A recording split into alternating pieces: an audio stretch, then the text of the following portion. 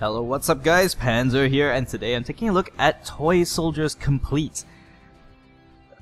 Well, it's a game that's not really complete yet. Uh, it's a game in early access, so I'm basically doing a preview of it right now, but I'm gonna try and let you know, is it any good? I'll, I'll try to let you know exactly what that's all about, really. It's a game that has potential, and um, right now it's in early access, so it's definitely not going to be complete yet. As you can see right here on the main screen, it is showing the first thing flashing up there, Toy Soldiers coming soon. And that's actually a major part of the game that isn't actually there yet, because it's not actually been implemented yet. So why am I actually taking a look at this game? Well, I picked this up on Early Access earlier, as I said. And uh, it's quite intriguing actually, because as the name suggests, Toy Soldiers, it is actually a game about quite literally toy soldiers. Now they're not the green plastic army men as you might see, but if you're watching the, the whole carnage that's going on in the background right now, you're actually noticing these guys running around. They seem to sort of spaz out when they die. Well, that's actually in, looks to be intentional actually, because they're supposed to be little plastic army men, but uh, the sort of kind of die-cast or um, wargaming models that you might imagine. So this game, it has a mouse-driven menu, uh, but don't be fooled, it's not entirely a PC game, not from what I can tell anyway, because it does support controllers. Now you've got a bunch of graphic settings down here, not much that you really have to tinker around with because it doesn't seem to be overly graphically intensive, but it is has decent graphical fidelity actually, so it doesn't actually look all that bad, which I'll show you just in a second. But one thing I do want to show you is while it has controller support, and you do you are able to change a number of controls down here. For example, you can set normal, inverted, and all that. But the game hasn't quite decided what it wants to be yet. Does it want mouse and keyboard or does it want controller? Because although you have fully rebindable keys as well for your mouse and keyboard, it gives you the prompts in the game as uh, sometimes in controller and sometimes as keyboard, like what you're seeing um, right there. And as you just noticed, it also has a how to play section, so it's a little bit about a tutorial section. Although you don't really need to read all that because you can kind of figure it out from just playing. Now, of course, we're not going to be going into the coming soon section because it's not there. So we're going to Toy Soldiers Cold War, which, as you can imagine, is the uh, US versus the Soviets. So we're going to go into that and beat some commies up. There are a couple of DLCs down here, but I want to avoid kind of those, and I want to avoid the uh, campaign as well because of any uh, possible story in that. There is a versus mode. Uh, it seems to support at least local multiplayer, and uh, I think it supports online multiplayer through Steam as well. So as you can see up there, there is an option for a player too as well. But we're going to go into uh, survival mode, which is basically an endless wave sort of survival mode. And you might be wondering why instead of endless wave. Well, aside from a few different uh, multipliers and um, well not multipliers, but you know modifiers to the game modes that you might see down here in the form of lockdown, hardcore, and all that, which gives you different ways of playing. The classic mode is an endless survival. It's not a first-person shooter. It's not a third-person shooter either. What it is, actually, is a tower defense game. Now you're probably wondering, well, what interest is that in tower defense games? Tower defense games are normally, you know, something you'd see on your mobile. Not entirely, because this is actually quite a... I wouldn't say it's a very good tower defense game, but it is competent, and it is a very nice looking one. I mean, look at this map right here, as we're loading it. I'm going to jump straight into playing it, because the game doesn't give you any time whatsoever to start. It shows off round one with a timer, but actually nothing really happens, because it almost immediately switch over to round two once these bunch of infantry die. But you see, I can place down towers and stuff on these little platforms, and I can put anti-tank or um, machine gun nests if I want to. Uh, there's also the option for mortars and um, these bug sprayers as such under the makeshift section, which is pretty cool. But why, you know, like I was saying, it's toy soldiers, right? So these are all actually supposed to be toys, and what you're actually playing is in a you're playing in a big sandbox, or uh, like a playset. It's a big wooden box actually. So all these are actually supposed to be toys. They're highly detailed toys, but you know they're mostly toys. So you can see right here I've got the, like the makeshift and the machine guns and mortars and all that. And it's very simple. It's just left click to to open up the menu, and you just sort of left click wherever you want to place it. Now there are vehicles that you can control as well, which I'll get onto in a second. And you can see right here, these are the bigger platforms, so I can put something like an artillery gun down there. And you can't put that on one of the smaller pieces, uh, because for obvious reasons that's probably they're limiting you the number you can do that.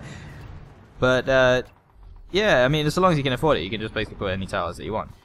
Now, as you can imagine, this being a tower defense game as well, that you can actually um, upgrade your towers on that. You're not wrong. You can actually do that. Uh, every tower has, uh, if I remember correctly, it's three three, the, three levels of upgrades, uh, which actually give you a visual upgrade as well as a stat upgrade. So it's very nice attention to detail there. And you can take control of any of these towers as well and shoot for yourself. So if you think the AI is being a bit stupid and shooting at the wrong sort of targets, you can take over and shoot for yourself. Well, the only qualm I have with this is that you start off with an M2 Browning, which we know is a 50 caliber machine gun. But if you upgrade it, it upgrades to two 7.62 M60s, which I don't know to me, that seems a bit like a downgrade to me. You might get two of them, but it's a smaller caliber, so rightfully that should actually mean that it's less effective, but yeah, whatever. The fact that they actually have that to begin with anyway is a pretty nice option as well. And of course, your anti-tank stuff can be upgraded as well. Uh, and uh, some of the stuff actually looks pretty extreme. Uh, in particular the artillery, which we don't get to see in this match, unfortunately. So you can see we can zoom right in, and you can see the number of detail, actually. Now bear in mind, your towers can actually take damage, so over time you will actually need to start repairing them. And uh, you'll, you'll see the you know, some of the vehicles actually do start shooting at them straight away. Now, I haven't noticed the infantry attack um, the towers straight up, but I've noticed a lot of the vehicles seem to do that, especially tanks, and you want to avoid those. I'll show you this vehicle that I've got down here as well. I'll just quickly put down uh, AA gun because we're about to be attacked. There's one of the things you got to remember. That this game actually there's um, bombers and uh, cargo planes that come over and do paradrops on you. So they drop commandos and stuff over on there. And there's no way of defending that uh, against that unless you have an AA gun. Of course, having sufficient AA guns, it's it's kind of a niche thing, really. Kind of like if you ever played Command and Conquer and had to put SAM sites and stuff down.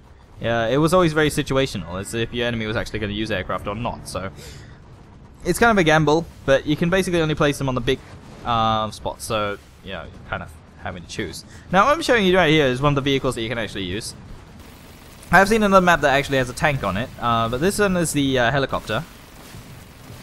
Uh, you do get different ones depending on the map they're on. I was on another map that had a uh, Apache, uh, this one uh, seems to be a Huey attack helicopter, but it seems to do the same thing. You got machine guns, you got rockets, and they do work really well against basically everything. I mean, sometimes uh, against some of these special enemies, like the boss enemies, it seems to be one of the most effective ways of actually taking them out, or sometimes the only way of taking them out, depending on how you set yourself up.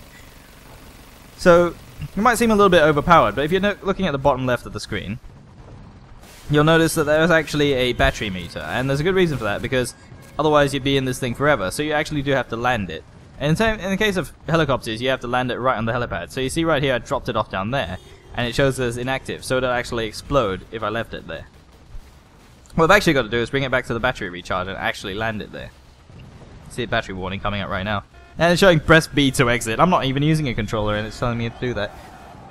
The button is not B, by the way. It's ex it's escape, but yeah. So, when it's down there, it's recharging. It's not usable to me.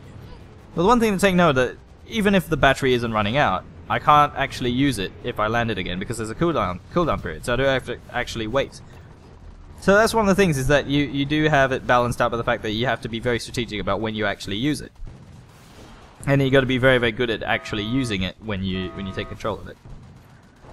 But like I said, there are some maps that actually do have tanks and stuff on them that you can control, and one map in particular has a tank and a helicopter. So you could actually alternate between the two almost indefinitely, so it makes it a little bit too easy in that case. you can see right here I haven't upgraded any of my towers, so uh, we're pretty much going to lose this. But the objective basically, as you would expect with any tower defense game, is kind of just keep them out of your um, your base, basically. But that's basically it, really. It's a it's a tower defense game, and it's competent. It really is. There's nothing offensively bad about it. In fact, it, it does look decently nice as well. It's one of the most cinematic tower defense games I've ever played. So it is definitely worth checking out on those grounds. But I do want to show you one other thing that they have included. In case you ever get bored with playing tower defense, because, you know, you bought a tower defense game, but if you do ever get bored with the whole tower defense aspect, there's actually a whole bunch of uh, mini games. So like I was saying, if you ever get bored of the actual main focus of the game, be it you know, the campaign or be it online multiplayer or whatever, you can actually get into this bunch of mini games, and there's a whole bunch of them right here. The only qualm I really have with this is the fact that the mouse doesn't actually seem to work very well at this particular menu. When you scroll up and down, it sort of switches really quickly. I'd much rather use the mouse wheel for that sort of thing. But no, it doesn't seem to control very well down here. So of course, one of the little things they probably do need to work out as the you know before the game gets released, is kind of work on the whole menus and stuff. But there's a whole bunch of them. They all seem to be quite different. So I'm gonna pick one that's called uh, Fly Swatter, and uh, that's actually one of the mini games that we can play. And what it does is actually it gives you control of an AA gun. And in this case, it's actually a Soviet AA gun. Yes, you can play as the Soviets if you really want to. And uh, you can see, yes, keeping with the whole theme and stuff, it's actually sitting there on a desk with uh, looks like a soda can and a cereal and um, an old Macintosh maybe or something, an old computer really down there. Yeah, so like I said, very highly stylized. But of course, this game as well, you know, this mini game, it's uh, supposed to be a bit of a comedy thing as well. You know, you can control this AA gun, and you got to shoot down as many flies as you can. And what this is actually, this is actually one of those pattern shooters. So you got to shoot them up, and you got to follow the pattern of the actual flies coming out and try and get the most, the highest score possible. You got infinite ammo, so you can just sort of fire all the way, but you got to kind of plan your shots as you go. And there's these little golden flies that you can kind of hit as well. Uh, these yeah, they give you extra score and everything, and the main point is to kind of keep your combo multiplier going up. I mean, it's not, you know, the main focus of the game, but this is pretty decent for what it is. I mean, I've seen entire games based on this entire sort of pattern following recognition sort of thing. And those normally go for a much higher price, so the fact that they have this sort of mini games in here anyway is actually pretty interesting. Now, I would have liked to see sort of like a um, multiplayer aspect with this as well, which I'm hoping that something they're actually going to do, because this could work out to be quite a fun little mini game for multiplayers as well. Kind of along the li same lines as what Pokemon Stadium did with their mini games, by having it sort of like a party aspect with um, other players. So even if it's a local multiplayer, it has potential. Of course. Ooh, fly right there in the face. But yes, so you can see, you know, just a little distraction for the main thing uh, maybe tying with a sort of leaderboard system, and you, you you got something good going on down here. But overall, you know, it's it, it's a competent tower defense game, but it's got a whole bunch of other content in there, and you can see the slots for other DLC and stuff that it got planned. Which, from what I can tell, at least they give you two of them free right off the bat if you purchase it now. So that's not too bad. I mean, it's a deal sweetener. But how much does all of this cost? And you know, now that you've seen that, is it any good? Uh, well, definitely I want to try out the multiplayer before I can give you an adequate verdict. I probably will put up another video if I can actually test out the multiplayer, but this is actually a really competent game for what it is, and to be fair to the developers, I mean, even though it's incomplete, there's so much content down here, you could actually get started playing with it already. And uh, it's going for $9.99 on Steam, that's $9.99 US, and or whatever your regional equivalent currency is. And for that kind of price, I'd say, yeah, you know, that's actually a bargain for what you're getting. Uh, it's a competent, like I said, it's a competent tower defense game with a lot of little mini games and pretty good content, and it's not bad looking. You know, there's attention to detail, and it is good looking for what it is. So, yeah, well worth checking it out. Go and check it out on Steam right now. I'm going to leave the link down in the description below. 19.99 on Steam. This is uh, this has been Panzer taking a look at Toy Soldiers Complete, now in early access. Go and check it out, guys, and I'll see you guys next time.